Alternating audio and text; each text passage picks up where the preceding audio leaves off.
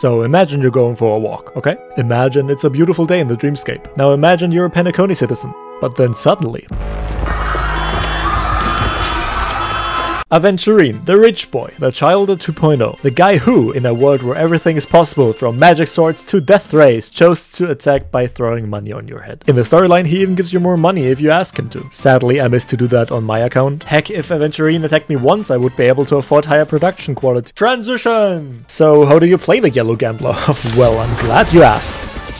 But I believe a chip is worth a miracle. Aventurine is an imaginary preservation character. His basic attack straight bet drops a die and some coins on the enemy. His skill Gepard's Retirement paypals your whole team a surprisingly large shiny shield. This shield also stacks twice, so investing more gives you more.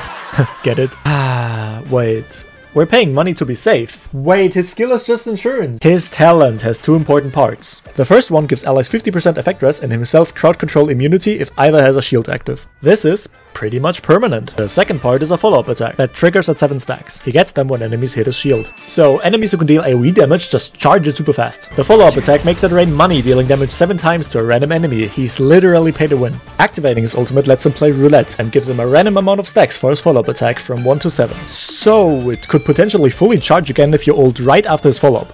Then he deals a burst to a single target enemy, which also applies a debuff for 3 turns. The debuffed enemy receives 15% extra crit damage, so put this ult on the main big guy. His technique, the red or the black, lets him play Slot Machine. I don't know how the name is related, but okay. This grants his entire team either a small, medium, or a large amount of defense at the start of the next fight. So you can literally gamble every time you have technique points. His traces are pretty cool. Here are some alternate titles. Defense equals crit rate, free shield when the battle starts, and team him up with follow-up allies. If you want to cosplay Aventurine, or if you're an IPC member, then you might be interested in his Eidolons. Team crit buff. His basic attack is now useful. Any E3. Even better follow-up. Any E5. And he's the DPS now. For relics he's super flexible, so you can go any 4-piece and 2-piece combination of these sets. For tankiness, go this. For damage, you can add this for his ultimate, this for his follow-up, or even the imaginary set. For ornaments, this or this are currently his best options. Try to get a defense body, speed or defense boots, defense or imaginary ball, and defense rope. Since he deals a surprising amount of damage, you want to look for crit substats. Honkai Star Rail does have a trend where they release best in slot relic sets after the character has been released, so it might be worth to not full invest into relics yet until the next update. For light cones, his signature is incredibly good, but for F2P, any of these are really solid options too.